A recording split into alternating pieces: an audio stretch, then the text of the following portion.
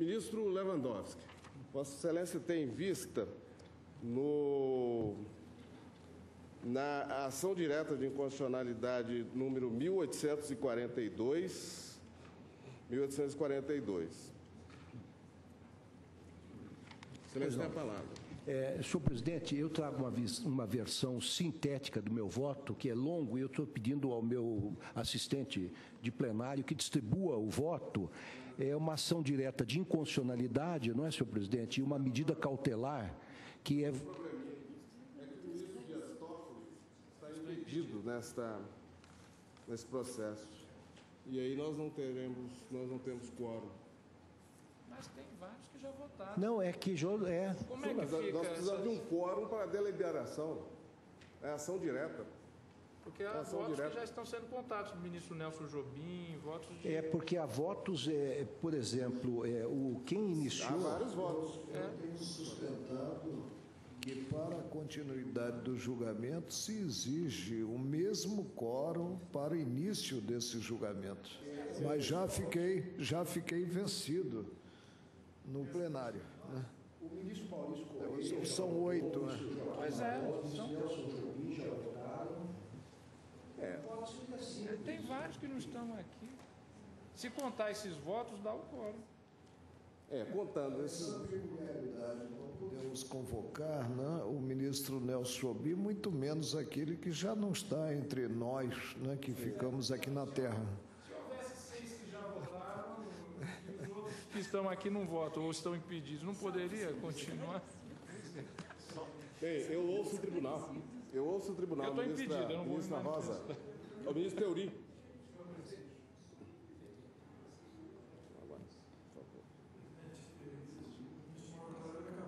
referi que já existe um precedente nesse sentido, até porque a, a presença dos que já votaram teria um sentido se esses votos poderiam ser modificados, que não é, não é o caso. Então, eu acho que não há impedimento eh, à continuidade do julgamento. Ministra Rosa. Também, pela minha lembrança, e agora na linha do ministro Aurélio, já há precedentes nesse sentido, senhor presidente. Ministro Fux. A vida do tribunal, deixar votar, eu acho que é importante. Não, mas sobre essa questão, E as cadeiras que votaram, elas estão presentes. estão presentes. Estão presentes. Sacar? Também, presidente. Lewandowski. Continuidade do, do- do- da votação, inclusive é uma matéria que vem se arrastando há muito tempo, de grande interesse público, e eu penso que está na hora de darmos um, um fecho nesse tema. Ministro Marco Aurélio continua? Não, presidente, continuo convencido de que, se é possível ter-se aqueles que já votaram, né, compondo o plenário, se deve aguardar. Agora, aqui há essa peculiaridade: o ministro Nelson Jobim já não compõe o tribunal e o ministro Maurício Corrêa também não, e já faleceu, né? Por isso é que eu penso que, presente a ótica já exteriorizada pelo ministro Teori Zavascki, né, nós devemos continuar o julgamento. Também eu. Também eu penso que, ah, já tendo sido proferido. O ministro Eros votos, Grau esses também não votos está devem mais, ser né? computados para fins de aferição do quórum, quórum eventual. Pois não, eu, Excelência, eu agradeço a deferência, só para lembrar que o ministro Sérgio Melo não votou e não está presente. Apenas uma Bom, mas- observação. ele vo- votará oportunamente, se, se necessário for. se necessário for. Senhor presidente, eu, eu estou fazendo distribuir uma. Já votou. E poderia votou. reconsiderar o voto, né? Eu entendo, Bem, mas é presidente, que- eu vou reajustar o meu voto para entender que não devemos continuar ante a ausência né, de um colega que votou, mas que poderia, na continuidade, até o término do julgamento, reconsiderar a posição assumida. Mas, ministro Só para ser coerente que eu sempre sustentei.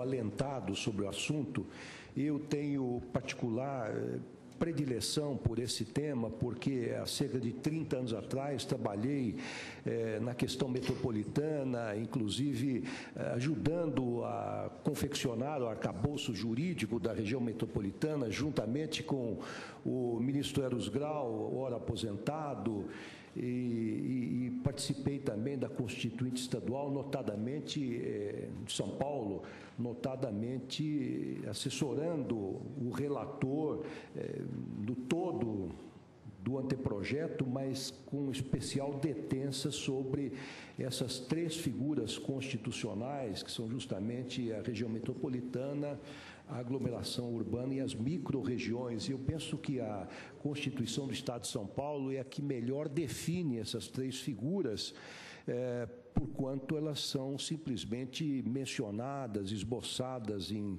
largos traços na, na Constituição Federal. E aí, senhor presidente, eu queria, nessa minha versão sintética, e meu voto será brevíssimo, porque eu estou acompanhando Vossa Excelência e o ministro Gilmar Mendes na, divergência que abriram, com um pequeníssimo acréscimo. Então, é apenas para rememorar aos eminentes pares do que se trata, nessa ação direta eh, que foi ajuizada pelo Partido Democrata Trabalhista, o PDT, é, pretende-se, é, enfim, a declaração de inconstitucionalidade dos artigos 1 a 11 da Lei Complementar 8797 e dos artigos 8 a 21 da Lei 2869-97, ambos editados pelo Estado do Rio de Janeiro. Esta lei, 80, lei complementar 87 é, trata da instituição, composição, organização e gestão da região metropolitana do Rio de Janeiro e da microrregião dos lagos, bem como define as funções públicas e serviços de interesse comum.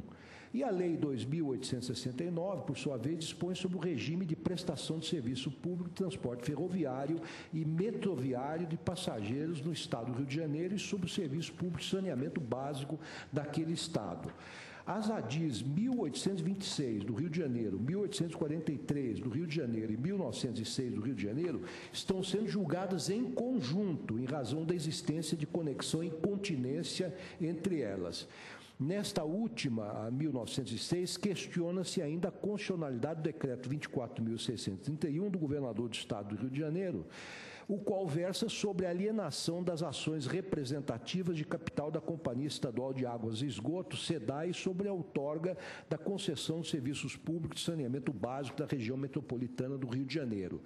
Os requerentes, em suma, sustentam que as normas impugnadas afrontam, primeiro, o princípio federativo, segundo, a autonomia municipal, terceiro, o exercício das competências municipais privativas e comuns dos entes federados e quarto, o princípio da não intervenção dos estados nos municípios. O que se pretende aqui, em linhas gerais, é garantir que os municípios possam, e de forma exclusiva, é, ter a última palavra no que diz respeito aos serviços públicos de interesse comum.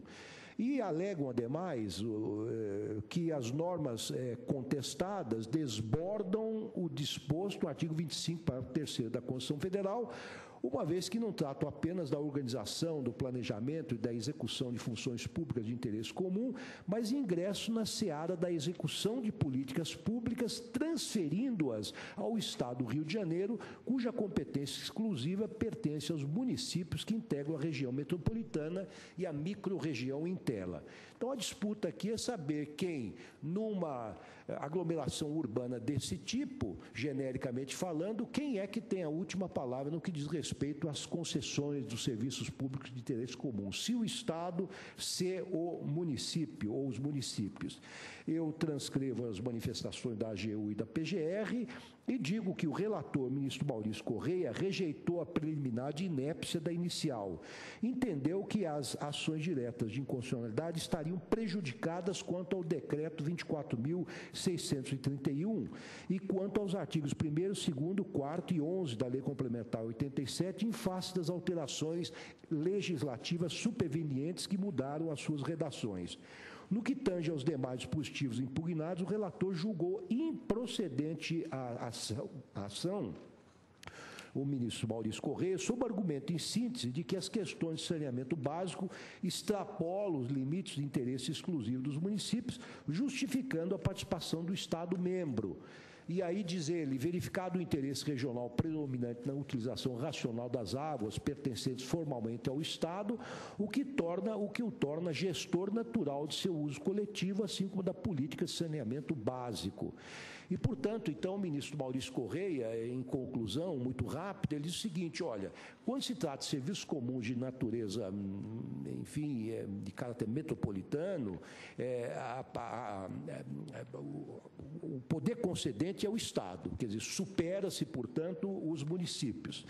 Aí vieram os votos divergentes. O voto de Vossa Excelência, aliás, um voto muito bem lançado, profundo e substancioso, e também do ministro Nelson Jobim, que, de sua parte, então, iniciaram a divergência eh, com relação ao voto proferido pelo relator Maurício Correia. Então, contrariamente, e Vossa Excelência me corrija se eu estiver errado, ao que entendeu o relator, ambos, em suma, manifestaram-se no sentido da criação de um ente regional, que a, que a, que a criação eh, de um ente regional é, de caráter constitucional não significa necessariamente a transferência de competências municipais constitucionalmente estabelecidas para o Estado. Então, é, não, não, não, não admitiram Vossas Excelências, o ministro Del Chobim, o ministro do presidente, né, Joaquim Barbosa, que se transferisse esta competência dos municípios para o Estado sem mais. No entanto, os ministros eh, divergiram no que concerne a distribuição dessas competências. O primeiro, o ministro Joaquim Barbosa, entendeu que elas deviam ser exercidas por órgão próprio ou por ente público ou privado formado a partir da autorização ou concessão dos municípios integrantes do agrupamento, ao passo que o segundo, o ministro Nelson Jobim, defendeu que a titularidade do exercício das funções públicas de interesse comum passa para a nova entidade político-territorial administrativa que nasce em consequência da criação da região metropolitana. Examinando as preliminares suscitadas no voto do ministro Maurício Correia, o ministro Joaquim Barbosa também assentou a prejudicialidade da ação quanto ao decreto 24.631, porém acompanhou em parte o relator por considerar prejudicada a presente ação por alteração normativa superveniente, somente o artigo 1 caput e parágrafo do artigo 2 caput e parágrafo único, o artigo 4 caput, inciso 1 a 7 e do artigo 11 caput, inciso 1 a 6. No mérito, julgou parcialmente procedente o pedido formulado para declarar a inconstitucionalidade do artigo 5 parágrafo único, do artigo 6 inciso 1, 2, 4 e 5, e do artigo 7 da Lei Complementar 87 de 97, além dos artigos 11 a 21 da Lei 2869. Já o ministro Nelson Jobim encaminhou sua conclusão no sentido de julgar procedente a ação quanto à expressão a ser submetido à Assembleia Legislativa, constante do inciso 1 do artigo 5 aos artigos 6 e 7 da Lei Complementar 87 e 97 e 3 aos artigos 8 e 21 da Lei 2.869. O ministro Gilmar Mendes, por sua vez, acompanhou a divergência inaugurada pelos ministros que o antecederam quanto às questões preliminares. Portanto, não há dúvida quanto às questões preliminares. Estou acompanhando também, desde logo, adianto, Vossas Excelências, o ministro Gilmar Mendes, o ministro Nelson Jobim e o ministro eh, Joaquim Barbosa. É, no mérito, porém, a semelhança do ministro Joaquim Barbosa, é, é, que assentou que nem, ao, nem o Estado nem os municípios ostentam a condição de únicos titulares da função, das funções públicas de interesse comum, devendo tal competência ser compartilhada entre os membros dos dois níveis federativos, os quais juntos formam o ente regional. Em outras palavras, é, estou interpretando o voto do ministro Joaquim Barbosa, a titularidade haveria de pertencer ao agrupamento de municípios junto com o Estado federado, de modo a decidir como integrar e atender adequadamente a função de saneamento básico. Então, haveria um compartilhamento. Ademais, segundo o mencionado ministro, a gestão compartilhada dessa entidade territorial no tocante ao planejamento, organização e execução das funções públicas de interesse comum não exige que a representação dos distintos entes nos órgãos colegiados seja necessariamente paritária. E o ministro Gilmar Mendes propôs ainda a modulação dos efeitos da declaração de inconstitucionalidade para que a legislação impugnada continue vigorando por mais 24 meses. Porque, claro, os interesses são enormes. No Brasil, todas essas entidades metropolitanas já estão formadas, já há prestação de serviços públicos. Então, o ministro eh, Gilmar Mendes eh, suscitou essa questão, dizendo: olha, não é, não é possível parar-se abruptamente, há que se conferir um prazo de dois anos para que as coisas se adequem adequem a esta nova realidade por ele proposta, e salvo melhor juiz pelo ministro Joaquim Barbosa, de que essa gestão seja compartilhada, estados e municípios, entes federados de pleno direito, como diz o artigo 1 da nossa Constituição, possam decidir, decidir juntos sobre estas magras questões. Após tal procedimento, pedir, tais, tais pronunciamentos, pedir vista dos autos para melhor exame da questão. É, com relação aos preliminares, acompanho os, o voto dos que me precederam, primeiro, para afastar a alegação de inépcia da inicial, pois, a meu ver, ela preenche todos os requisitos necessários para a postura dessa ação. Outro sim acompanha a divergência para julgar prejudicada a ação quanto ao decreto e aos artigos 1 capto, e parágrafo 1 segundo capto e quarto, capto, incisos 1 a 7, 11 capto, incisos 1 a 6 da Lei Complementar 87, porquanto esses dispositivos foram alterados de forma superveniente pelas leis complementares 89, 97, 105, todas do Estado do Rio de Janeiro.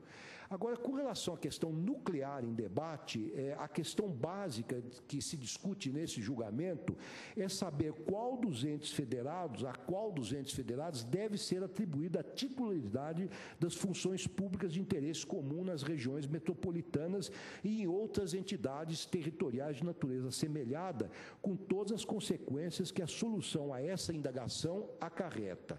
E existem três soluções possíveis para esta questão. Primeiro, conferi-la integralmente ao Estado instituidor desta entidade regional. Segundo lugar, deferi-la de modo exclusivo aos municípios que a integram.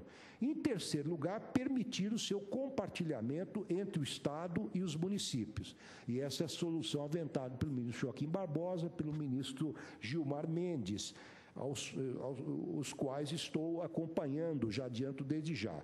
Eu recordo inicialmente que a Constituição Federal dispôs sobre o tema, em seu artigo 25, parágrafo 3, que eu transcrevo e me dispenso eh, de lê-lo, porquanto todos o conhecem, a saciedade.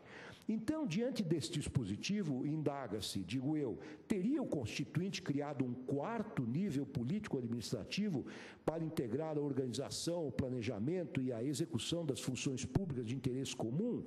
Se a resposta for negativa, como parece ser a opinião unânime dos especialistas, a qual dos entes federados caberia tal tarefa? Então, a, a, doutrina é absolutamente assente que o artigo 25, parágrafo 3 não criou um quarto nível político-administrativo, enquanto, muito embora isto fosse talvez até conveniente.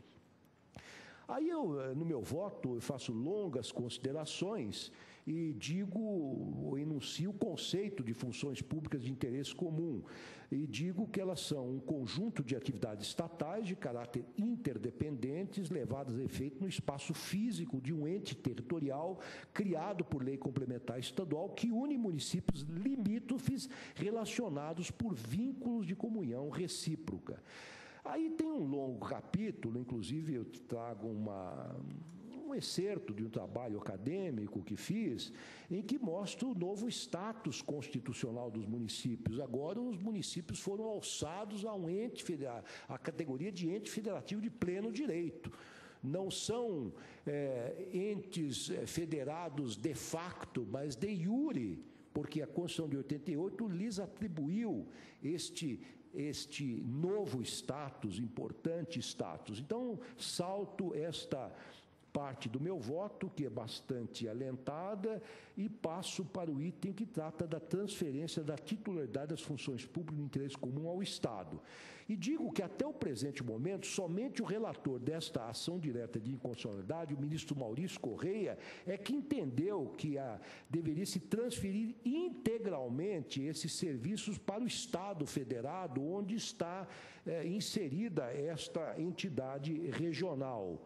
Mas eu, então, peço vênia para discordar do relator original desta dia, acompanhar a maioria já formada, tendo em conta, sobretudo, o novo status institucional desfrutado pelos municípios sob a Carta Magna de 88. E digo então que a transferência integral ao Estado da titularidade das funções públicas de interesse comum, comum continente das funções de competência local significaria, a meu ver, neutralizar um dos aspectos mais peculiares do modelo federal adotado pela Constituição vigente, qual seja a consagração das comunas como um terceiro nível político-administrativo de nosso aparato estatal passo para outro item que falo do compartilhamento da titularidade das funções públicas de interesse comum. Então, superada essa questão, resta saber então se a titularidade pode ser integralmente transferida para os municípios que compõem a região ou se deve ser exercida de forma compartilhada entre estes e o Estado. É, para solucionar esse problema, eu primeiro faço é, uma incursão na doutrina sobre a é, que diz respeito à, à, definição da natureza jurídica desses novos entes regionais. Cito José Afonso da Silva, o meu colega e ex-chefe. É, no setor jurídico da empresa metropolitana de planejamento da Grande São Paulo, um, um grande jurista, Laor Café Alves, para concluir que a região metropolitana é um conceito jurídico que institucionaliza um fenômeno empírico, a saber, a existência de núcleos urbanos contíguos com interesses comuns. E baseado então na lição do professor Alaú Café Alves, trata-se de uma autarquia territorial, intergovernamental e plurifuncional sem personalidade jurídica. Então, é, torna-se necessário compreendê-la a partir destas noções e, inclusive, que supere a visão tradicional que se tem da própria federação. E aí, num outro trecho do meu voto, que Vossas Excelências têm em mãos, eu faço uma longa é, peroração sobre a, a, a a, transição de um federalismo dual para um federalismo cooperativo ou de integração. Esse é um fenômeno absolutamente conhecido já pela doutrina, inclusive pela doutrina norte-americana. Alguns temem até pelo desaparecimento da nossa federação, mas ela existe, ela se caracteriza como federalismo de integração. Há um outro detalhe muito importante que me parece necessário frisar, que é o aspecto da compulsoriedade da integração dos municípios aos novos entes regionais. E essa é uma, essa é uma questão que já foi discutida nessa Suprema Corte e que tem grande relevância para o deslinde do debate. Quando o Estado, mediante lei complementar, cria a região metropolitana, a microrregião ou aglomeração urbana, o município é compelido a ingressar nela. Ele não pode dizer, olha, não, eu quero ficar fora. Ele é obrigado, e por força, inclusive, do que, se, do que dispõe o artigo 25, parágrafo 3 da Constituição. Ora, pergunta-se, se ele é compelido a entrar, ele não pode deixar de fazer parte dessa nova entidade federal, é, regional, ele vai perder as suas competências quando ingressa compulsoriamente nesta entidade, a meu ver, isso me parece absolutamente impossível, não está previsto na Constituição e seria eh, destituir o município dessa característica fundamental de ente federativo de pleno direito. E é, agora e vejo o seguinte, com a partir da Constituição é, de, de 1990 e, 1988, diferentemente do regime que era estabelecido nas cartas de 67 e 69, em que os municípios eram apenas consultados de forma não vinculante sobre a prestação de serviços metropolitanos, que era feita integralmente pelos estados, agora eles têm o direito, a meu ver, de participar do processo decisório no plano intergovernamental. Aí trago aqui novamente as lições do professor Alaor Café Alves sobre o assunto, etc. E, e, e, e teço considerações sobre aquilo que já foi levantado pelo nosso presidente, ministro eh, Joaquim Barbosa, e também pelo ministro Gilmar Mendes, sobre a chamada, eh, o conceito de gestão compartilhada das novas regiões, previstas, ao meu ver, implicitamente no artigo, prevista essa gestão, é, implicitamente, ao menos, no artigo 25, parágrafo 3 da Constituição. E esta solução, a meu ver, que é, faz com que Estado e municípios tenham que sentar-se em conjunto ao redor da mesma mesa para deliberar sobre os serviços comuns ou de interesse comum, é a solução que mais se coaduna com o novo regime constitucional destas regiões é, salto adiante, para não tomar mais tempo da nossa da nossa corte e digo, e digo que esta, inclusive, é, é, é, o exemplo da União Europeia. A União Europeia pratica uma espécie de gestão compartilhada das questões que são comuns a todos os estados que integram esta União. E o próprio ministro Gilmar Mendes, em seu substancioso voto, trouxe à baila a experiência dos Kreise alemães é, e destaca um trecho de seu voto, Kreise são círculos, em alemão, literalmente traduzindo essa expressão, são círculos onde se delibera a gestão das questões comuns de maneira é, compartilhada. No meu voto, faço uma distinção entre as expressões partilhar e compartilhar, e digo que, do ponto de vista semântico, partilhar encerra a ideia de uma divisão de poderes ou de competência, tal como ocorre nas federações, ao passo que compartilhar significa exercê-las conjuntamente, conforme ocorre nas confederações ou no moderno federalismo cooperativo, que alguns, como disse, preferem chamar de federalismo de integração. É, vou adiante, sou presidente e, enfim, insisto nesse aspecto de que a gestão deva ser compartilhada em função disto. Aí é, é, digo o seguinte: é, a gestão regional compartilhada não significa, como observou o ministro Gilmar Mendes em seu voto, que o poder decisório tem que ser necessariamente partilhado de forma igualitária entre os municípios, o município polo e o Estado instituidor.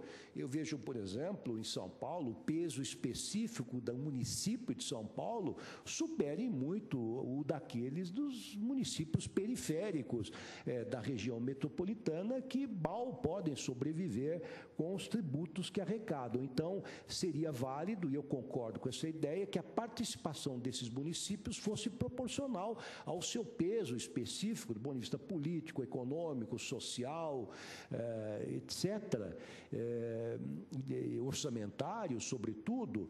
E isto ocorre na União Europeia também. Nos órgãos que eh, gerem esta associação de Estados, a participação dos Estados menores é diferenciada relativamente aos grandes estados com maior potencial, inclusive militar, quando mais não seja econômico. Né? E é, então, voltando ao tema, senhor presidente, já me encaminhando para o final, para a efetivação dos valores constitucionais em jogo, segundo entendo, basta que nenhum dos integrantes do ente regional seja excluído dos processos decisórios que nele ocorram ou que possa sozinho definir os rumos da gestão destes. Também não me parece aceitável, do ponto de vista constitucional, que a vontade do conjunto dos municípios prevaleça sobre a do Estado instituidor do ente regional ou vice-versa. Então, nem o Estado pode ter a última palavra, nem o conjunto dos municípios. Há que haver uma fórmula de consenso nesse sentido. Em resumo, entendo, na mesma linha dos votos proferidos pelo, pelos ministros Joaquim Barbosa e Gilmar Mendes, que a constitucionalidade dos modelos de gestão das entidades regionais regionais previsto no artigo 25, parágrafo 3 da Constituição Federal, está condicionada ao compartilhamento do poder decisório entre o Estado instituidor e os municípios que as integram, sem que se exija uma participação paritária relativamente a qualquer um deles. É, eu digo que há alguns arranjos institucionais paradigmáticos no direito positivo brasileiro e peço vênia para dizer que o da Constituição do Estado de São Paulo é um deles, porque lá existe na Carta Política Bandeirantes é, uma previsão de um modelo cujo centro nevrálgico é justamente o caráter normativo e deliberativo de atuação de um conselho, no qual se previu não apenas a gestão conjunta dos diferentes entes federativos que compõem a entidade regional, como também, e aqui, senhor presidente, se Vossa Excelência me permitir, esse é o diferencial que trago com relação ao voto substancioso de Vossa Excelência, do ministro Gilmar Mendes, lá se garantiu a participação da sociedade civil no processo de tomada de decisões. Aliás, eu insisti muito nesse aspecto na feitura da Constituição do Estado de São Paulo. Por quê? E vou resumir o raciocínio meu, porque é, eu digo o seguinte: primeiro, porque a democracia participativa é um dos valores mais caros da Constituição de 1988. Transitou-se de uma democracia meramente representativa para uma democracia participativa.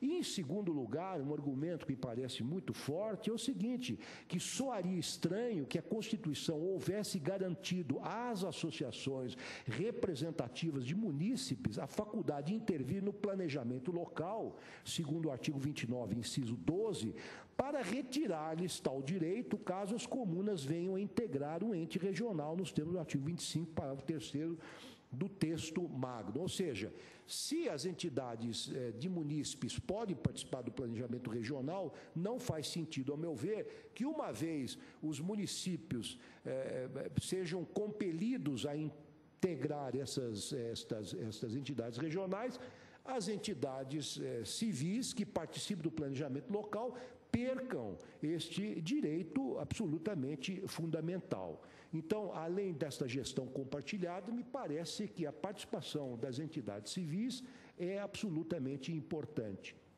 Eu estou eh, saltando, então, um capítulo do meu voto, 17, da compatibilização da gestão eh, regional com as normas constitucionais. Eh, e eu digo, termino aqui, não me parece haver nenhum problema em delegar a execução das funções públicas de interesse comum a uma autarquia territorial, intergovernamental e plurifuncional é, desde que a lei complementar instituidora da região regional, da entidade regional, lhe confira personalidade jurídica própria, bem como poder concedente quanto ao serviço de interesse comum.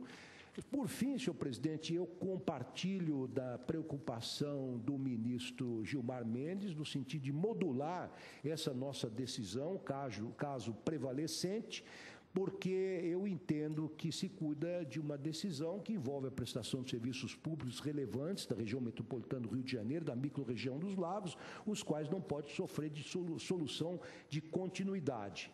Também é, digo que é, é, possível e desejável que se conceda 24 meses para que os municípios se adequem a esta é, solução. E digo em certo local de de meu voto, senhor presidente, voltando atrás rapidamente, que no caso das entidades regionais, o mínimo denominador comum para seu adequado funcionamento consiste, a meu ver, apenas no compartilhamento das decisões relativas às funções públicas de interesse comum, inclusive com relação ao poder de concessão dos respectivos serviços, de tal modo que não haja concentração des, dessa na esfera de um único ente, seja ele o Estado instituidor ou o município polo ou qualquer dos demais municípios, e que desde que não se dê preponderância à vontade de determinado ente federado sobre outros no processo de tomada de decisão e que haja participação popular. Ou seja, eh, não estamos aqui impondo um figurino único, dada a diversidade da nossa federação e, a, e, e as características de cada uma dessas entidades regionais. Então, senhor presidente, para terminar,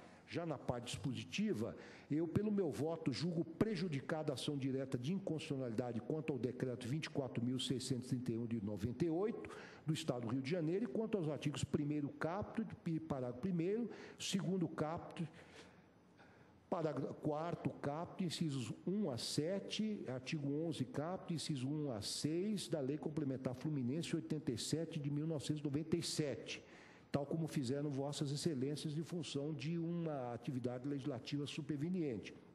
Ademais do mérito, julgo procedente a ação para declarar a inconstitucionalidade da expressão a ser submetido à Assembleia Legislativa no inciso 1 do artigo 5 além do parágrafo 2 do artigo 4 artigo, eh, do parágrafo único, do artigo 5 dos incisos 1, 2, 4 e 5 do artigo 6 do artigo 7 do artigo 10 e do parágrafo 2 do artigo 11 da Lei Complementar 87 de 1997 do Estado do Rio de Janeiro, bem como dos artigos 11 e 21 da Lei Fluminense 2869, modulando os seus efeitos eh, os efeitos da declaração de inconstitucionalidade para que ela só tenha eficácia a partir de 24 meses após a conclusão desse julgamento.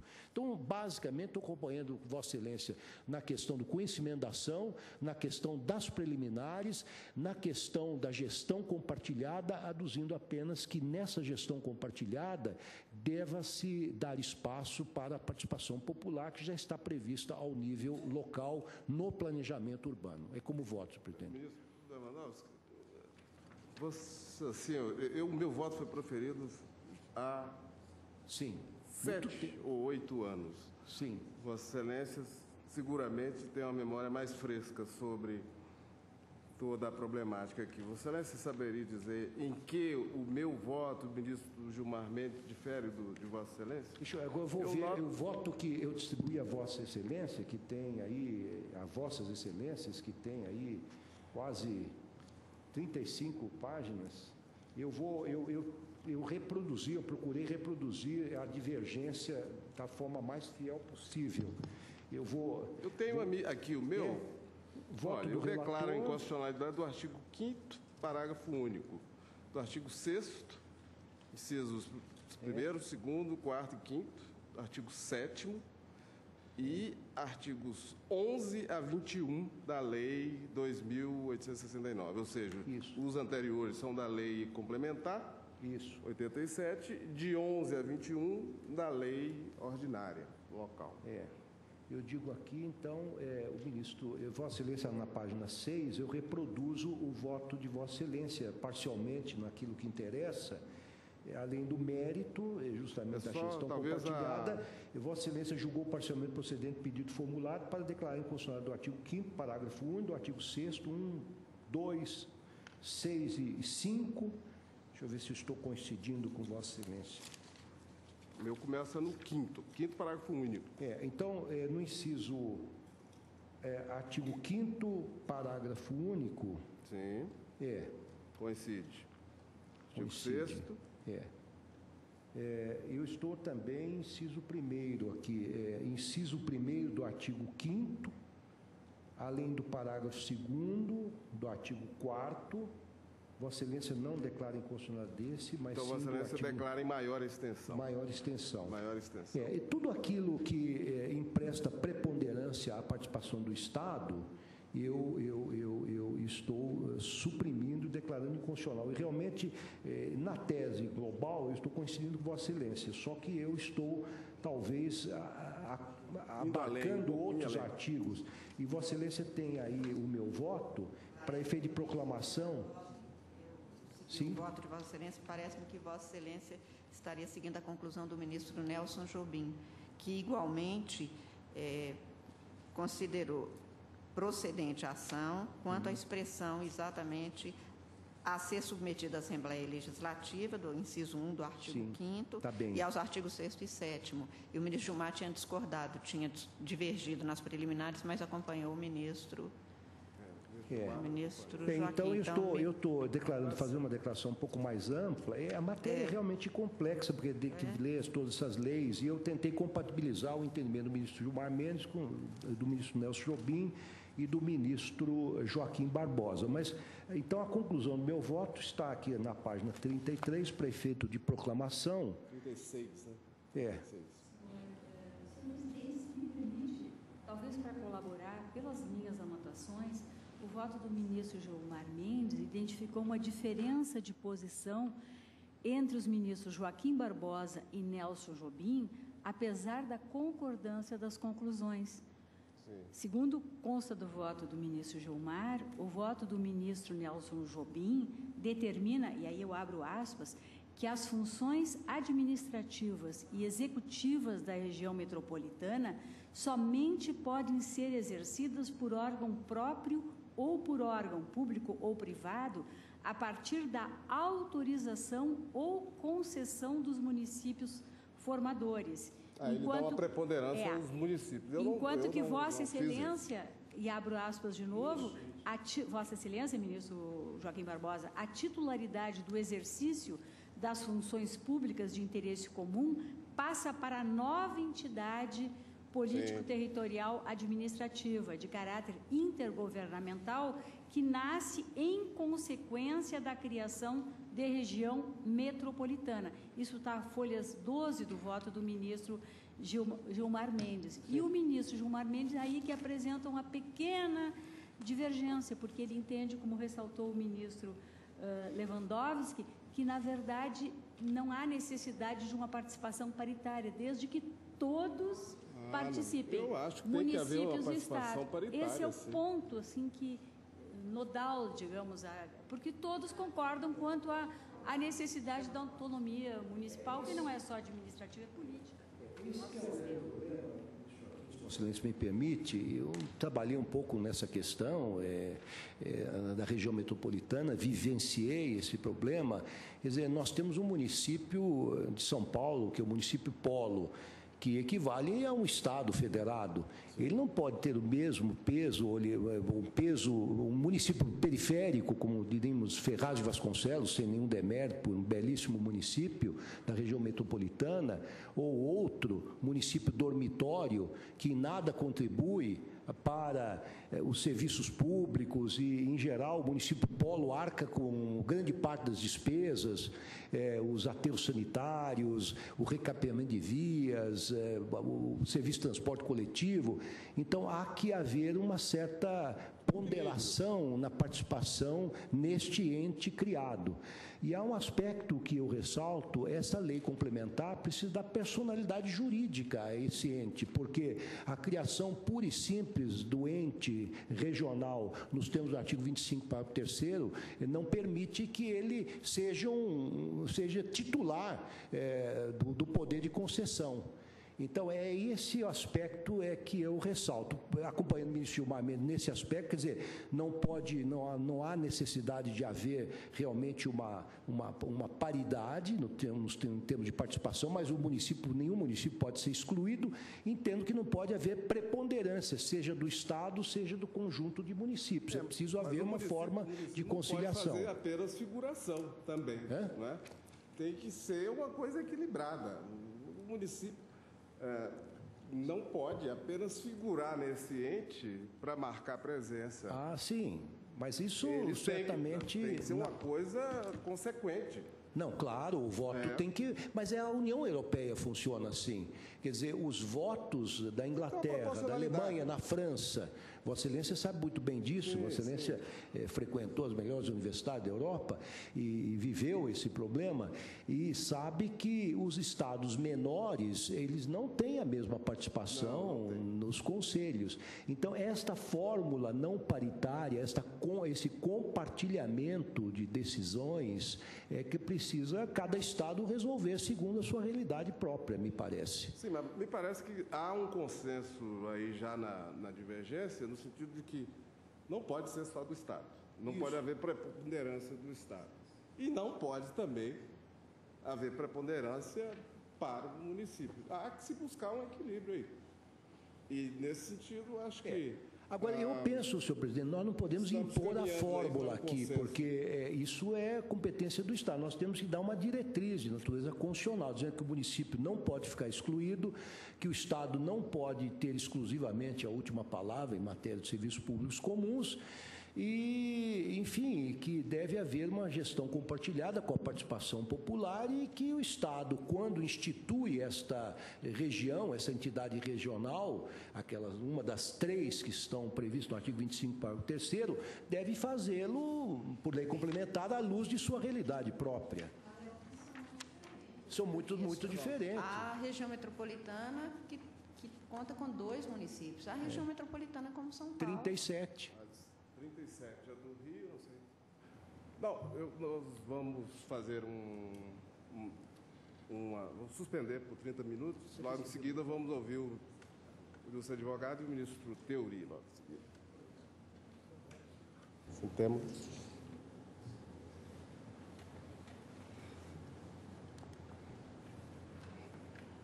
Senhor advogado, gostaria de subir à tribuna. Muito obrigado, senhor presidente. Apenas um esclarecimento sem qualquer juízo de valor. Já antecipando ao ministro Marco Aurélio que não farei sustentação oral da, da tribuna. É, sobre um, um aspecto do voto do ministro Gilmar, o Vossa Senhora, Vossa Excelência, o senhor presidente, é, pediu esclarecimento sobre a principal diferença entre o voto de Vossa Excelência e o voto do ministro Gilmar. Na verdade, Vossa Excelência inaugura a questão do compartilhamento e o ministro Gilmar Mendes ele destaca um ponto que eu não sei, deve ter sido tratado no voto do ministro Lewandowski, mas por conta do resumo talvez não tenha sido destacado, que é avançando no sentido de como resolver essa questão do compartilhamento. E o voto do ministro Gilmar, que propõe uma modulação dos efeitos, na verdade ele manifesta uma preocupação de como resolver isso, porque alguém terá que fazer essa lei. E a proposição dele é que. discutindo uma lei. Aqui. Exatamente. A lei já que cria. Exato. A proposição dele é que a- essa iniciativa seja uma lei estadual e que ela observe os parâmetros definidos no voto no que diz respeito a essa paridade com os municípios. Então, só para esclarecer esse, esse ponto e agradecendo a, a Vossa Excelência. agradeço a participação. Presidente, tem a palavra? Obrigado. Perdão. Eu agradeço a participação do advogado, sempre importante para esclarecer os aspectos do voto, mas no voto em que eu distribuí a Vossas Excelências, fiz um resumo eh, da- do que é mais importante. Eu ressalto exatamente esse aspecto. Marmente, por sua vez, acompanha a divergência inaugurada pelos ministros. No mérito, a semelhança do ministro Joaquim Barbosa, assentou que nem o Estado nem os municípios ostentam a condição de únicos titulares das funções públicas de interesse comum, devendo ser tal competência compartilhada entre os membros dos dois níveis federativos, os quais juntam formam um ente regional. Em outras palavras, a titularidade haveria de pertencer ao, entre aspas, agrupamento de municípios junto com o Estado federado, de modo a decidir como integrar e atender adequadamente a função. Ademais, segundo o mencionado ministro, está na página 10, eh, a gestão compartilhada dessa entidade territorial no tocante ao planejamento, organização, execução das funções públicas de interesse comum, não exige que a representação seja paritária, já disse. Poder concedente serviço de saneamento básico nem pertence fracionado entre os municípios, nem é transferido para o ente federado, mas deve ser dirigido por uma estrutura colegiada, em que a vontade de um único ente não seja imposta a todos, aos demais pa- eh, políticos participantes. Eu avancei um pouquinho, ousei, até trazendo aqui a doutrina administrativa, que é perfeitamente possível, por lei, criar uma autarquia municipal, porque é uma autarquia especial, de caráter territorial, porque é preciso que eh, haja um, um ente com personalidade jurídica para hum, realmente deter a titularidade dos serviços públicos comuns. Também, também, também, também. Também, quer dizer, é, é, não basta simplesmente criar a região metropolitana, o agrupamento ur- urbano, as micro-regiões, é preciso criar esse ente com esses colegiados. Senhor presidente, quanto às preliminares, eu acompanho os votos divergentes, agora reafirmados pelo ministro Ricardo Lewandowski. A questão central está em saber se são legítimas ou não as disposições normativas de leis editadas pelo Estado do Rio de Janeiro, que ao instituir região metropolitana do Rio de Janeiro e a microrregião dos lagos, transferiu do âmbito municipal para o âmbito estadual competências administrativas e normativas próprias dos municípios, notadamente as que dizem respeito ao serviço de saneamento básico. O ministro relator respondeu que sim, que são legítimas essas leis. Mas os votos divergentes dos ministros Joaquim Barbosa, Nelson Jobim, Gilmar Mendes e agora do ministro Ricardo responderam que não. O fundamento que norteou a divergência é o de que a restrição, mediante lei complementar estadual, previsto no artigo 25, parágrafo 3 da Constituição, de regiões metropolitanas, de aglomeração urbana e de micro-regiões, não pode ocorrer mediante pura e simples transferência para o Estado de competências administrativas e normativas dos municípios interessados, já que isso, comprometeria seriamente o núcleo central do sistema federativo, que é a autonomia dos municípios. Eu penso que a divergência tem essa convergência de considerar inconstitucional. Bom, mas a partir daí, como é que tem que ficar? Dizer, os votos divergentes entendem que como está não pode ficar.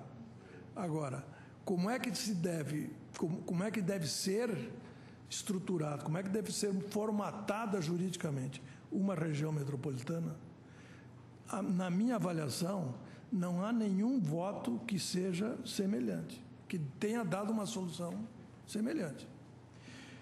Os votos divergentes nos trazem solução, não trazem solução uniforme quanto ao sistema de gestão dessas, dessas regiões metropolitanas e microrregiões, embora convirjam, eh, como eu falei, no entendimento que ela deve, se, deve ocorrer com a participação colegiada dos municípios envolvidos, tese do município do ministro Jobim, ou também com a participação do Estado interessado do ministro Gilmar Mendes, de Vossa Excelência, agora do ministro Lewandowski. O, o ministro Nelson Jobim já discordou, porque ele, ele entende que o Estado não precisa participar. Ou por uma nova entidade público territorial administrativa, estou lendo de Vossa Excelência, de caráter intergovernamental que nasce em consequência da criação da região metropolitana. Essa é a expressão de Vossa Excelência, que agora o ministro Ricardo acrescenta que deve ser ainda, deve ter ainda a participação de entidades da sociedade civil. Eu, eu já, Bom. Embora concorde em princípio com a ideia, eu acho que é matéria para ser é. É da lei. É a é. lei que tem que. Bom, não é? Eu, eu, o que eu quero acentuar é exatamente isso. A, a, o, o, como é que deve ser formatada juridicamente nós estamos dizendo que não pode ser como foi feito, mas não há convergência sobre o modo, eh, não há convergência integral sobre o modo como deve ser formatada uma região metropolitana.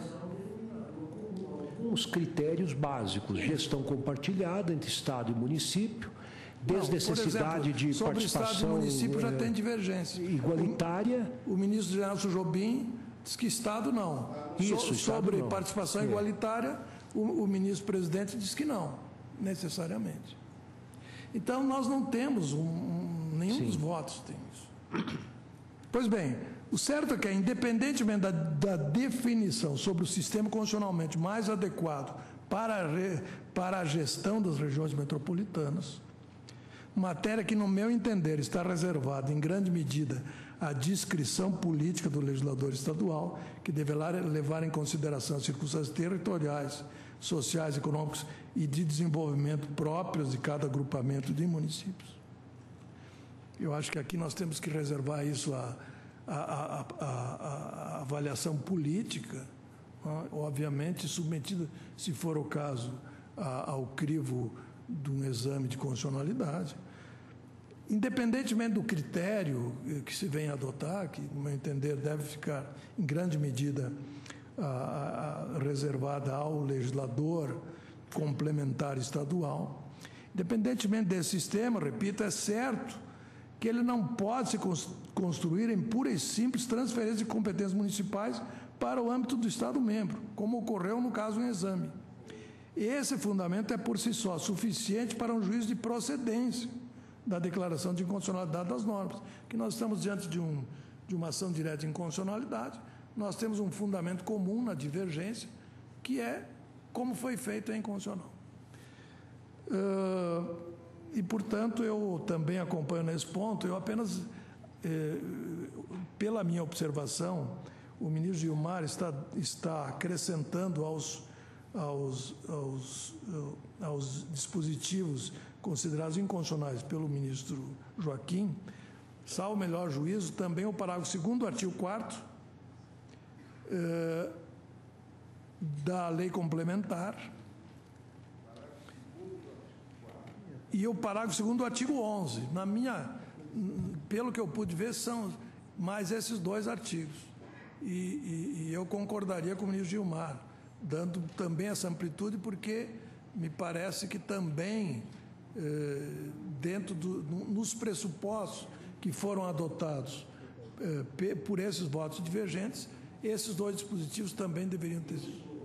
Eu também concordo. É. Ao dispositivo. É. As decisões do Conselho Deliberativo serão tomadas sempre por maioria simples, condicionada a sua execução à ratificação pelo governador. Ou seja, é dar por via, por via oblíqua a palavra final ao, ao, ao governador.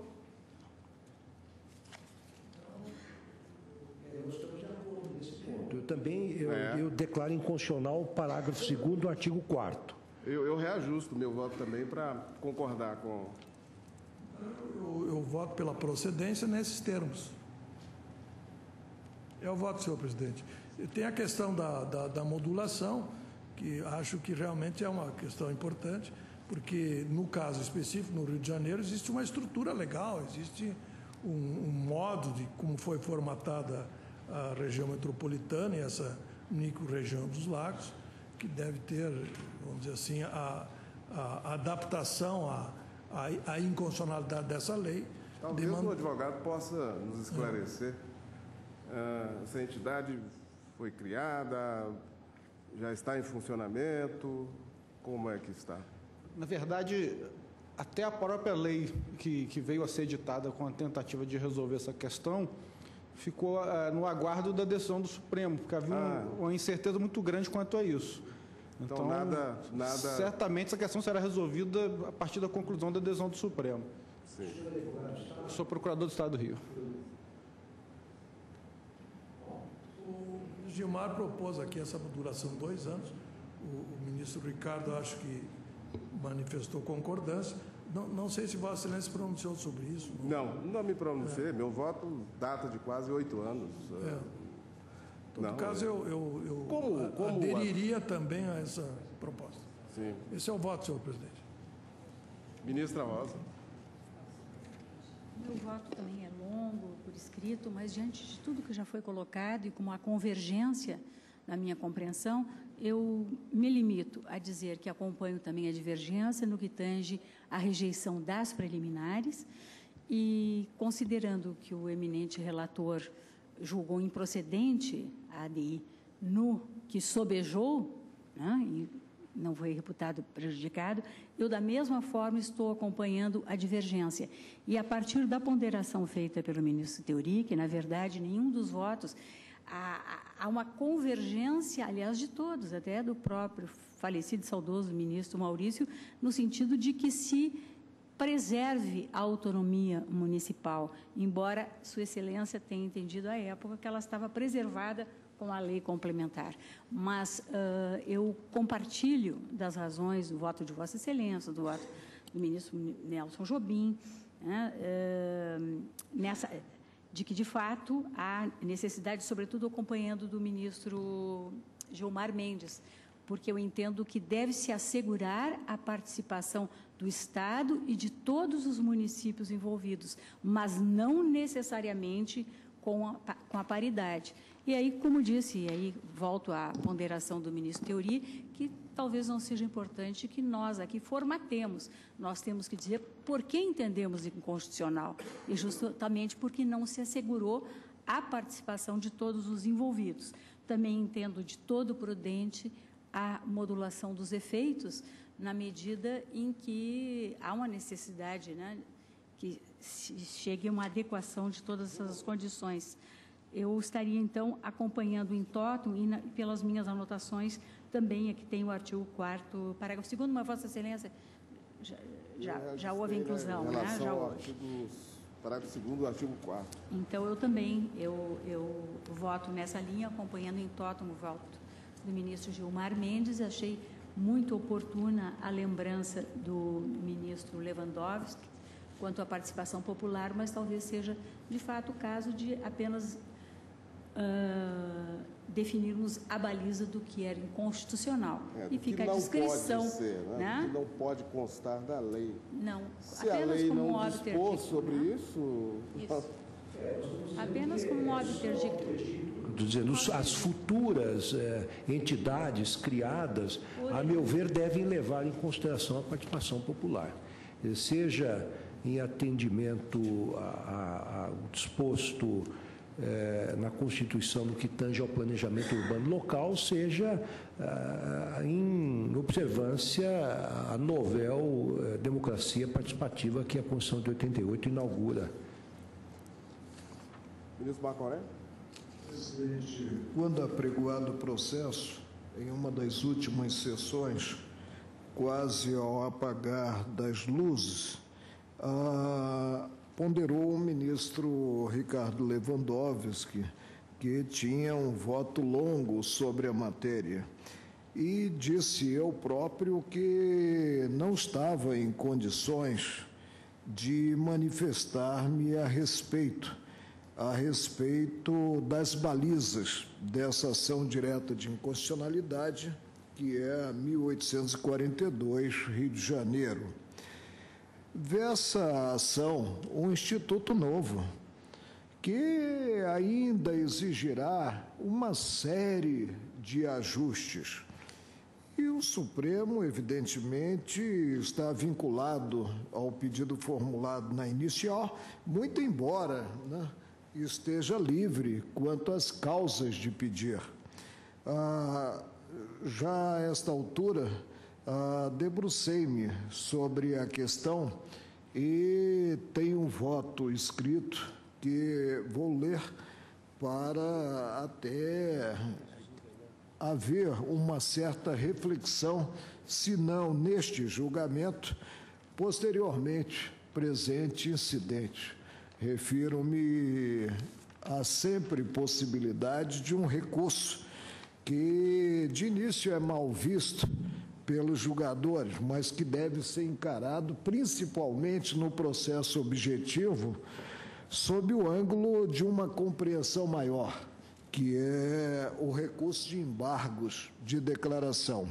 Faz-se em jogo a constitucionalidade dos artigos 1, 2, parte final, terceiro incisos e quarto a 11 da Lei Complementar 87, 17 de dezembro de 1997, e oitavo a 21 da Lei 2.869, 19 de dezembro de 1997, ambas do Estado do Rio de Janeiro. Segundo sustenta o requerente, ao criar a região metropolitana do Rio de Janeiro e a micro-região dos lagos, as referidas normas implicaram a usurpação de serviços públicos de competência municipal.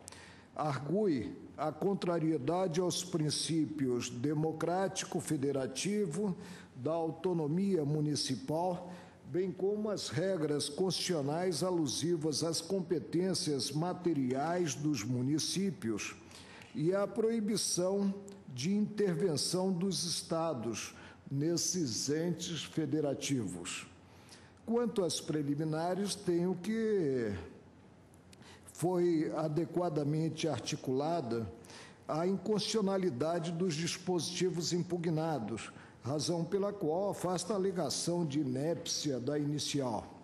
No mais, acompanho o relator no tocante ao reconhecimento do prejuízo concernentes aos artigos 1, 2, 4 e 11 da mencionada lei complementar ante as alterações imprimidas aos preceitos mediante as leis complementares estaduais 97 de 2001 e 105 de 2002. Percebe-se que os incisos do artigo 3 da Lei Complementar Estadual atacada versam sobre funções e serviços públicos de interesse comum que serão aglutinados ante o interesse comum na região metropolitana. Alguns deles são tipicamente estaduais, como a distribuição de gás canalizado, inciso 4. Ah, outros são municipais, a exemplo da disciplina do uso do solo, inciso 7.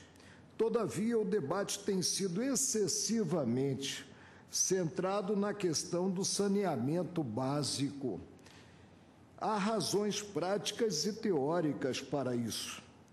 Primeira, o saneamento básico é o único serviço público econômico arrolado nas competências materiais compartilhadas entre todos os entes federativos, estampadas nos incisos do artigo 23 da Carta de 1988. Os demais serviços possuem natureza social a possibilidade de exploração econômica de serviços de saneamento, diretamente ou por delegação, por meio da cobrança de tarifas e taxas, representa elemento de natureza política que explica a contenda entre os entes federativos. Tanto assim que uma das impugnações dirige-se precisamente ao artigo 7 da citada Lei Complementar Estadual, o qual atribui ao Estado a condição de poder concedente desse serviço público. Curiosamente, quando se trata de saúde, educação e habitação, artigo 23, 2, 5 e 9 da Carta da República, a tendência verificada é oposta busca se ver assentada incompetência relativamente à prestação dos serviços. O argumento mostra-se comum, principalmente no campo da saúde pública, e já foi rechaçado pelo Supremo em inúmeros precedentes. Segunda, a inexistência de um marco regulatório com repartição clara de atribuições nos três níveis federais dificulta, dificulta a solução do caso. Nem o texto constitucional, nem a Lei 11.445-2007 revelaram claramente o grau de responsabilidade da União, Estados, Distrito Federal e municípios. Daí as controvérsias quanto ao que cabe a cada qual havendo teses respeitáveis em todos os sentidos, o que se reflete no dissenso entre os votos prolatados.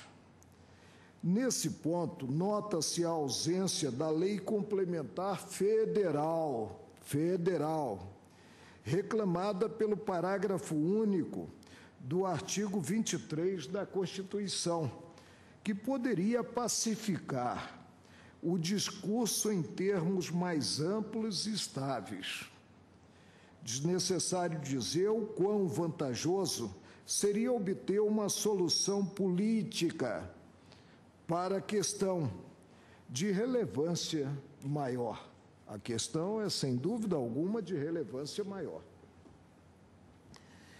E falta a lei complementar, que, a meu ver, né, a federal é indispensável para caminharmos para um consenso, principalmente presente a cultura de unidade, considerados os entes federativos.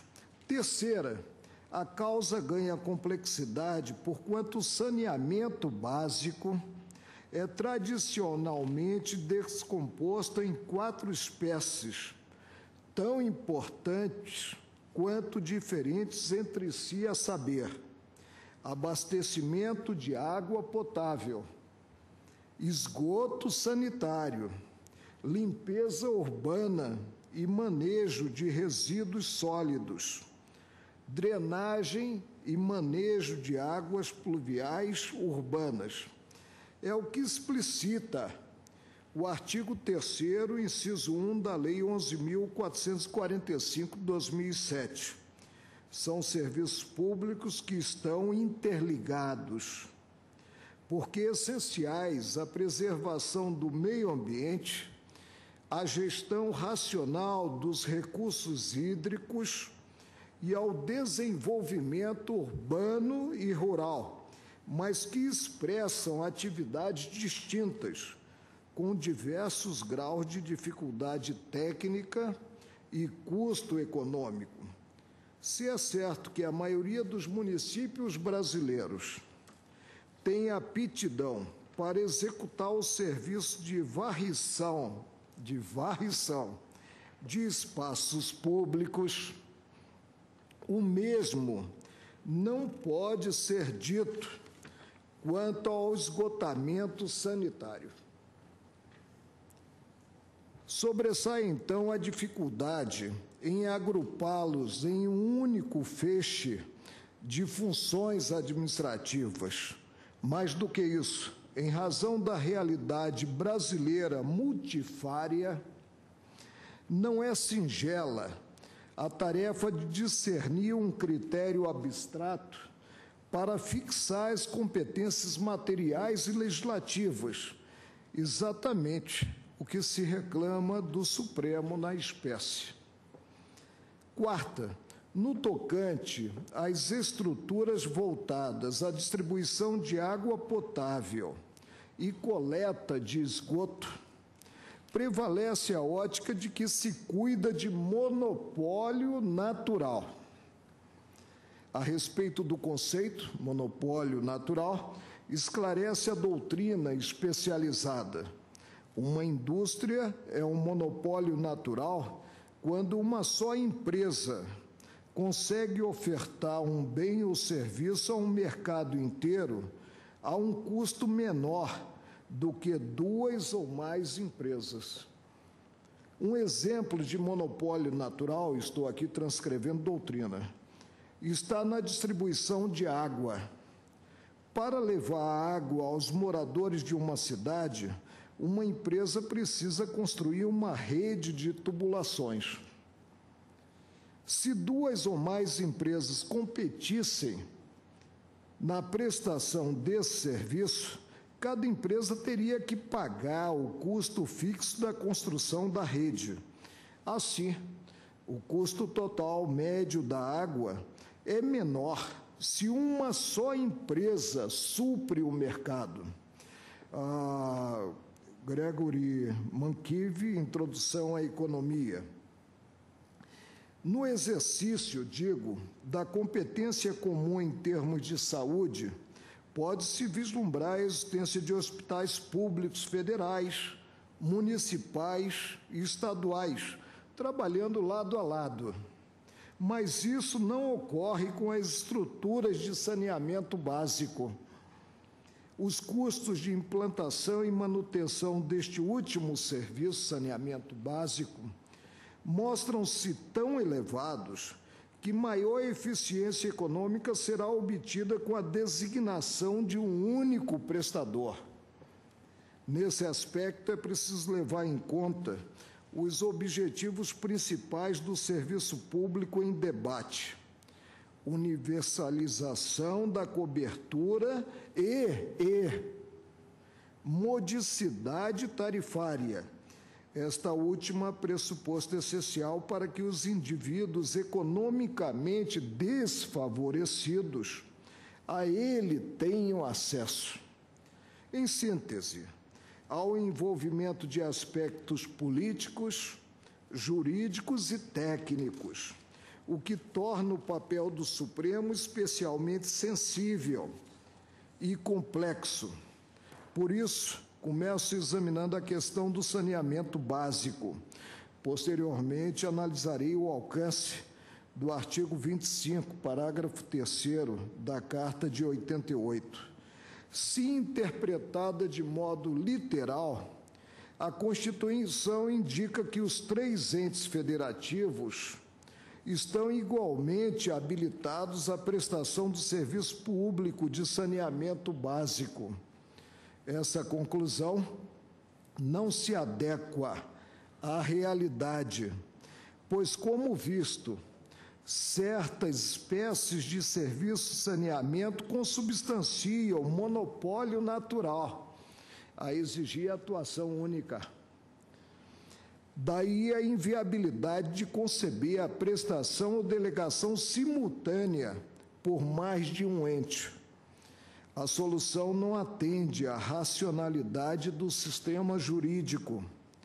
A interpretação do texto constitucional não pode descurar das consequências práticas dela resultantes. Incumbe ao Supremo evitar nova guerra federativa, que claramente prejudicaria os objetivos da Carta Federal concernentes ao serviço saneamento básico.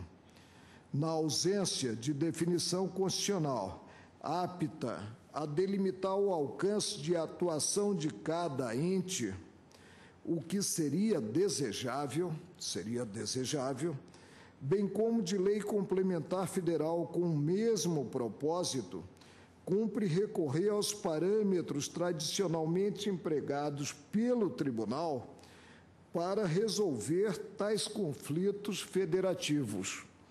Deve-se observar o denominado critério da preponderância do interesse, que se traduz na ideia de se reconhecer a competência municipal quando está em jogo o interesse local, a estadual nas matérias de interesse regional e federal nas atividades de interesse geral ou nacional.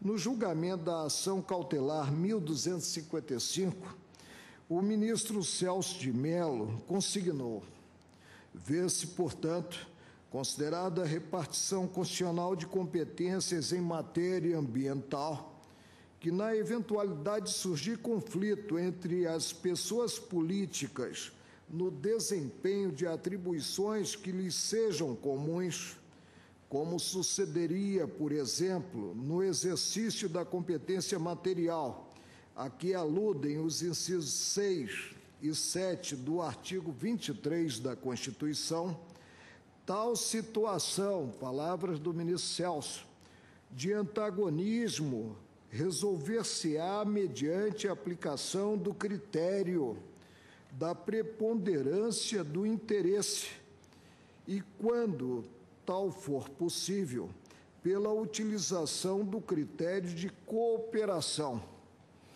que às vezes é muito esquecida, né?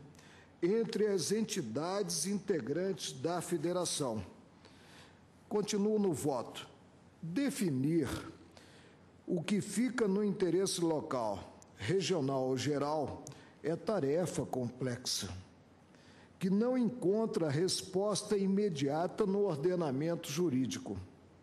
São conceitos indeterminados, cujo preenchimento depende da análise das circunstâncias concretas subjacentes ao caso e à realidade do país.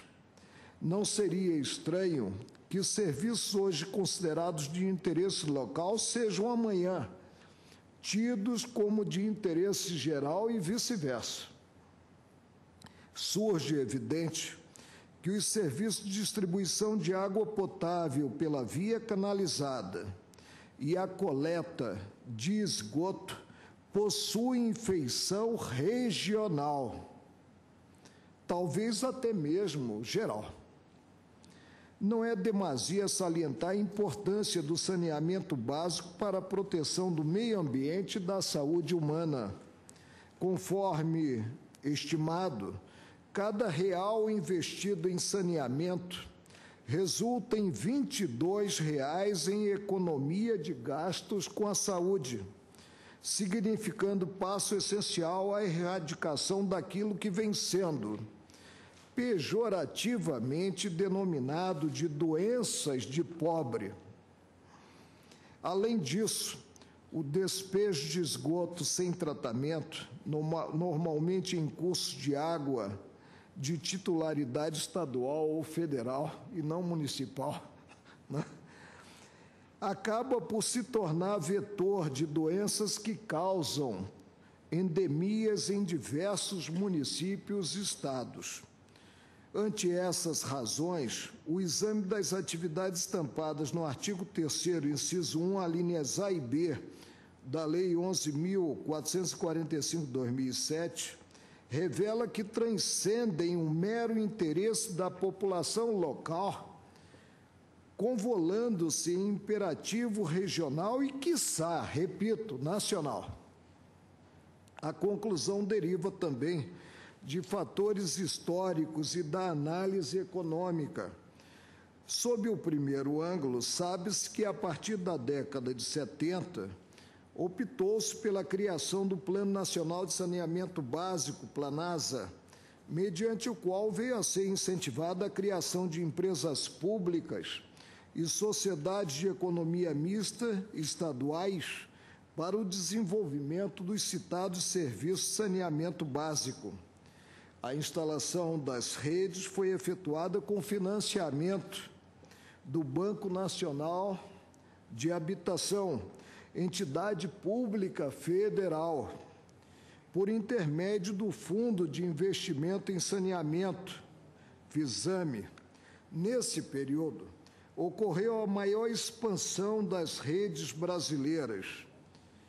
A experiência municipalista segundo Vinícius Marques de Carvalho, acabou marcada pelas seguintes características: a predominância de soluções domiciliares, as poucas captações, a deficiência operacional, a defasagem tecnológica, o não atendimento de parcelas significativas da população e, principalmente, o processo de urbanização desenfreado incentivaram a busca de soluções que extravasassem o âmbito municipal.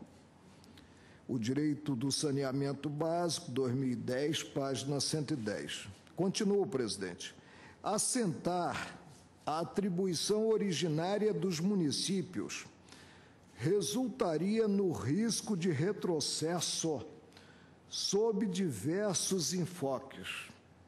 Antes de tudo, porque o modelo de gestão estadual é o mais bem sucedido no setor ao longo da história do Brasil.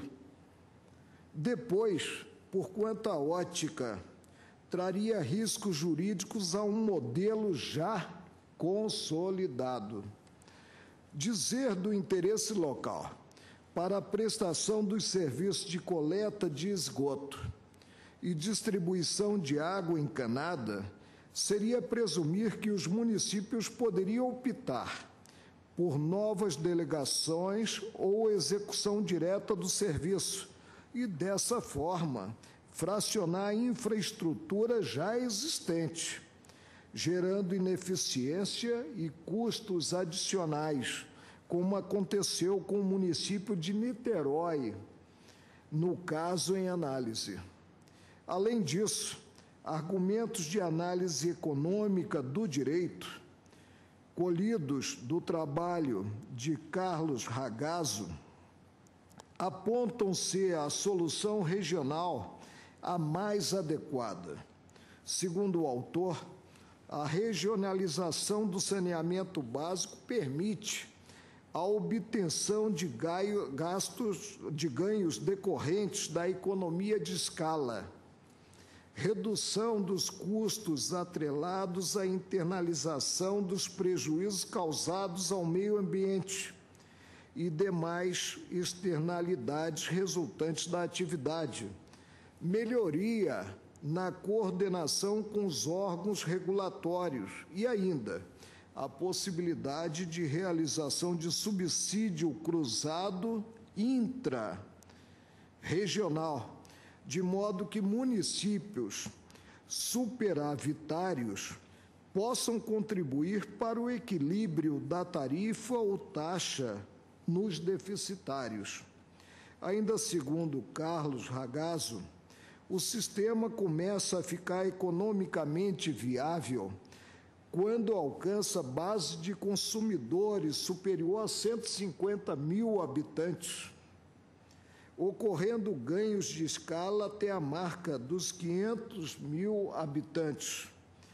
Esse problema é especialmente grave no Brasil, onde se verificou uma explosão do número de municípios nos últimos 20 anos, conforme dados do Instituto Brasileiro de Geografia e Estatística, somente 225 municípios brasileiros possuem população superior a 100 mil habitantes, em um universo que compreende 5.561 entes. É dizer, na quadra atual, pouco mais de 4% dos municípios brasileiros possui condições de prestar o serviço de saneamento básico de modo sustentável. Não subsiste a afirmação de que o serviço de saneamento se assemelha ao de distribuição de gás canalizado e de que, para esse último, o constituinte originário teria feito a ressalva do artigo 25, parágrafo 2 da Carta Federal os serviços são muito diferentes. O primeiro volta-se ao suprimento de demandas energéticas, as quais, inclusive, podem ser substituídas por outras fontes.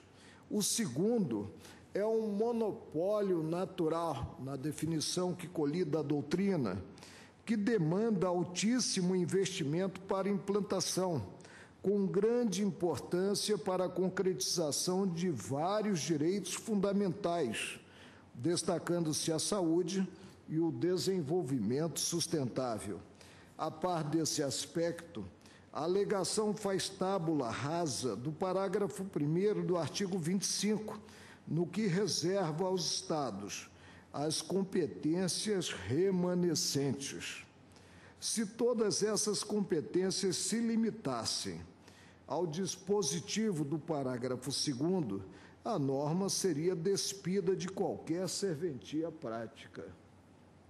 Em síntese, entendo que os serviços listados no artigo 3, inciso 2 da lei impugnada são de atribuição estadual e não municipal, por ostentarem nítido interesse regional os versados no artigo 3 inciso 1, a linha C e D da Lei 11445 de 2007 revelam atividades de interesse local e por isso devem ser executados pelos municípios.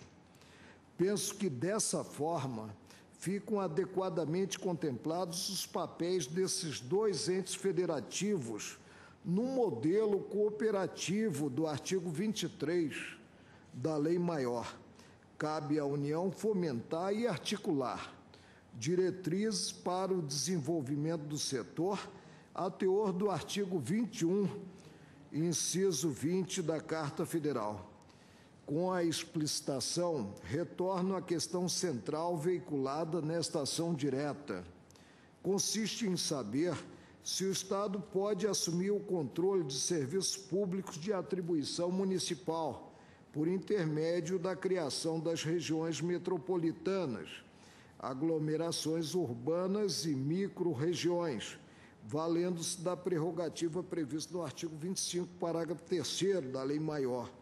A resposta é desenganadamente negativa. Contudo, conforme assentei, os serviços de distribuição de água canalizada e esgotamento sanitário possuem natureza regional e, como tais, devem ser geridos e implementados pelos Estados.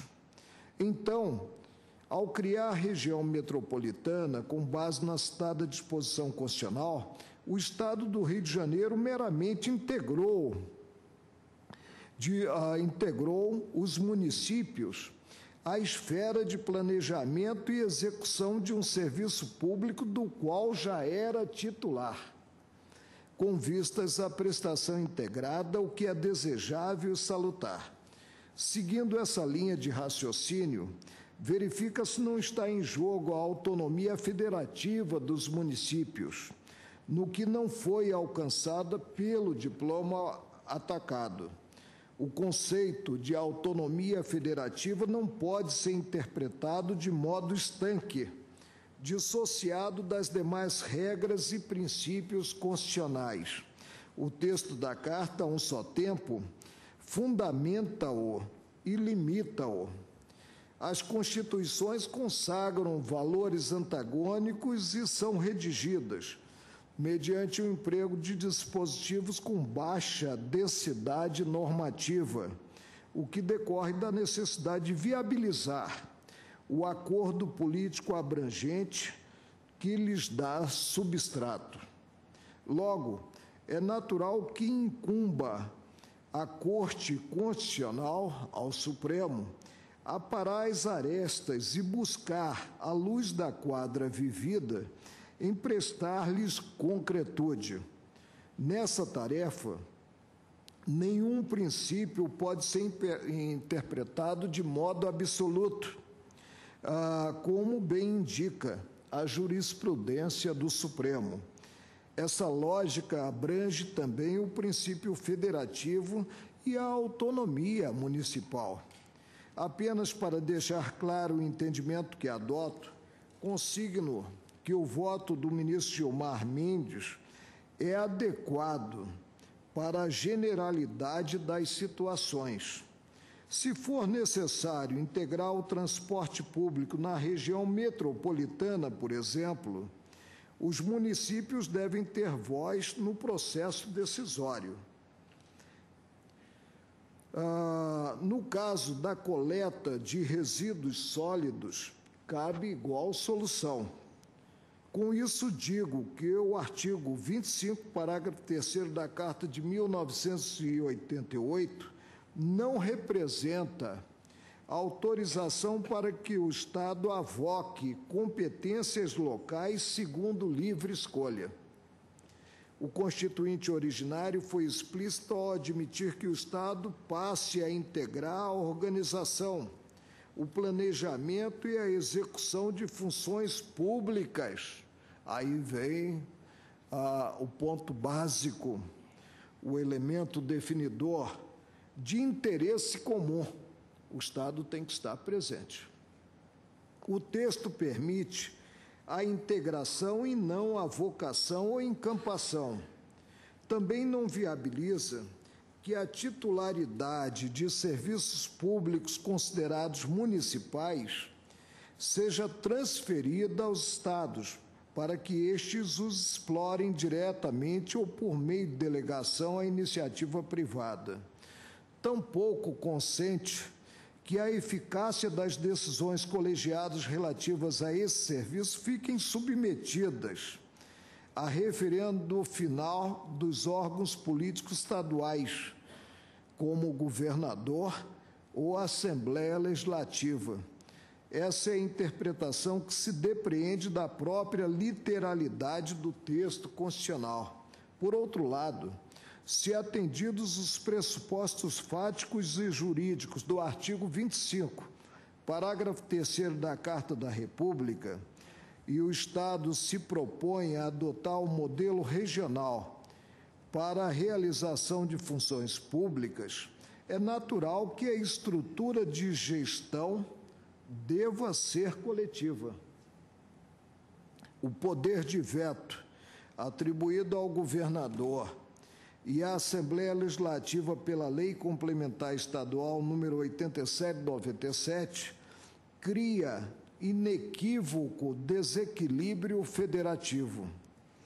O que há com as regiões metropolitanas é uma relativização das autonomias dos entes federativos em favor, e precisamos aprender isso, da cooperação e do alcance de finalidades mais importantes, como o atendimento aos princípios de eficiência, modicidade tarifária e universalização dos serviços públicos.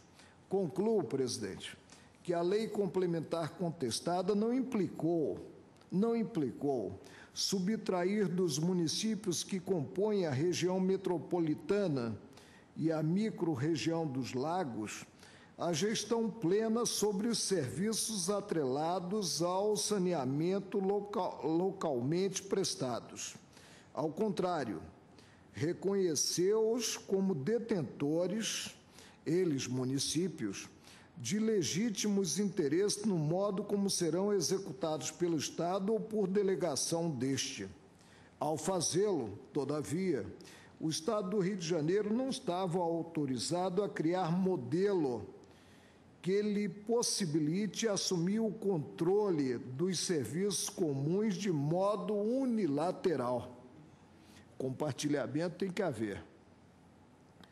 Tanto a literalidade quanto a teleologia do artigo 25, parágrafo 3 da Carta Federal, indicam que a região metropolitana, as micro-regiões e as aglomerações urbanas são um esforço e teremos que praticar muito nesse campo.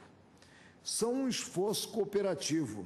Ante o quadro, conheço parcialmente do pedido e, nesse ponto, julgo em parte procedente para declarar a inconstitucionalidade dos artigos 4 parágrafo 2 no tocante, de forma restrita, a expressão condicionada à sua ratificação pelo governador do Estado. E quinto, inciso 1, relativamente à cláusula a ser submetido à Assembleia Legislativa da Lei Complementar número 87 de 1997 do Estado do Rio de Janeiro como voto. Luiz Marco Aurélio, Vossa Excelência não vota quanto aos dispositivos da lei ordinária? Da lei?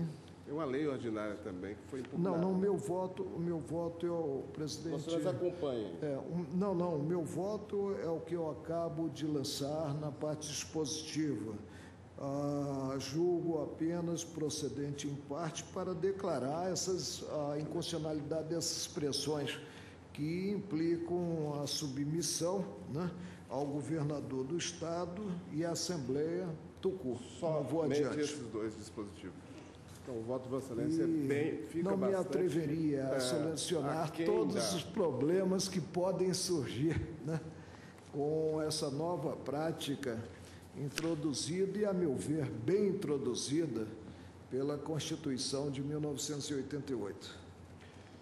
Bom, ah, está resolvida então a questão do que diz respeito à, à lei complementar e à lei ordinária. Foram declarados inconstitucionais os dispositivos.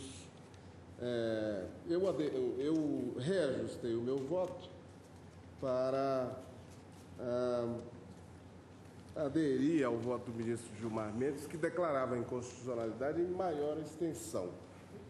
Agora, fica, eu não sei se nós temos eh, maioria Seis- qualificada se- para, é, para, o, seis para a modulação, A maioria modulação. qualificada. não é? A modulação proposta pelo.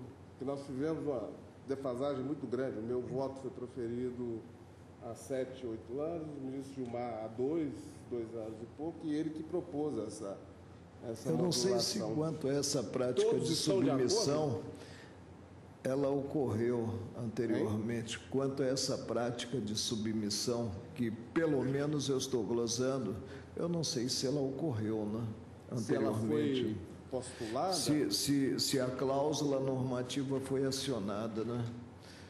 Eu não sei porque eu não participei da, da última deliberação, quando o ministro Gilmar, quando o ministro Gilmar propôs a modulação. Mas ele não está presente, talvez não fosse bom da- da presença dele para debater. Não, mas ele propôs, e se houver concordância aqui, nós já Ele encerramos. já votou a favor da Ele já votou a modulação. favor. É um voto já Ele, voltou- ele propôs, a, não sei se foi ele ou se foi a parte que propôs.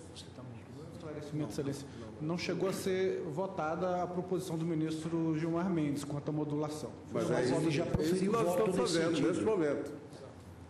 Ah, Presidente, um esclarecimento. Eu estou votando integralmente com o ministro Gilmar na parte dispositiva e com Vossa Excelência. Então, nós, na parte dispositiva, não temos nenhuma divergência. Vossa Excelência pode proclamar identidade de posições. sim, e é por isso que eu estou perguntando. Com relação à modulação, eu indago se há alguma divergência. Não, a modulação, presidente, eu peço vênia para não, não- a não imprimir. concordo. eu penso que casos concretos devem ser solucionados num momento propício mediante o instrumento próprio, né? e que não cabe simplesmente potencializar certo aspecto em detrimento da Carta da República. Por isso eu peço vênia para não implementar a modulação, não adentrar esse vespeiro, né, que é o das consequências da própria decisão do Supremo. Respeitando, o ministro Fux talvez na, na, na modulação possa votar, porque o ministro Eros não se manifestou nessa questão. É. Da Agora, modulação. o- eu verifico, por exemplo, o ministro Jobim votou nesse caso. No... Não, o ministro Jobim não se manifestou sobre isso, porque Não. ele deixou o tribunal bem antes de a, questão ter sido colocada. A ministra Carmen também pode votar pela Senhor presidente, Vossa Excelência me permite? Na penúltima sessão, eh, eu não participei da votação de mérito, porque o ministro Peluso, a quem eu sucedi, havia participado. Todavia, no que se refere à modulação, Vossa Excelência chamou meu voto e eu votei. Então, naquela oportunidade, ficou pelo menos o consenso da, da- do, do colegiado de que são duas decisões separadas. Ministro Fux. Senhor presidente, eu não votaria nesse processo, de sorte que, evidentemente, não tenho conhecimento nem do seu teor. Mas sobre essa questão. Não, mas é uma- uma- a modulação. modula- eventual modulação. Eu sei, mas a eventual modulação ela vai trazer uma consequência em relação a um mérito que não é do meu conhecimento. Então, eu gostaria de votar sobre a modulação, só sobre a modulação, na outra sessão, que eu quero Então, Vossa conhecer Excelência, quais são as Que consequências. tal se Vossa Excelência pedisse vista só sobre essa questão? Tá ótimo. Eu proclamo. Sei eu quais são as proclamo- consequências É disso. mais seguro. proclamo o resultado é, julgado. Ministro Lavadós, você poderia me. me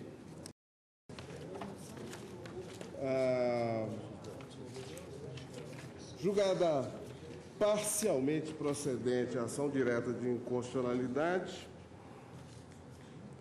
ah, nos termos não, vou dizer, parcialmente procedente para eh, declarar a inconstitucionalidade da expressão a ser submetida à Assembleia Legislativa, constante do inciso 1 do artigo 5 além do parágrafo 2 do artigo 4 do parágrafo único do artigo 5 bem como dos incisos 1 2 4 e 5 do artigo 6 do artigo 7 do artigo 10 e do parágrafo 2 do artigo 11 da Lei Complementar 87 e 97 do Estado do Rio de Janeiro, bem assim dos artigos 11 a 21 da Lei Lei número 2869 de 97 do Estado do Rio de Janeiro, lei ordinária.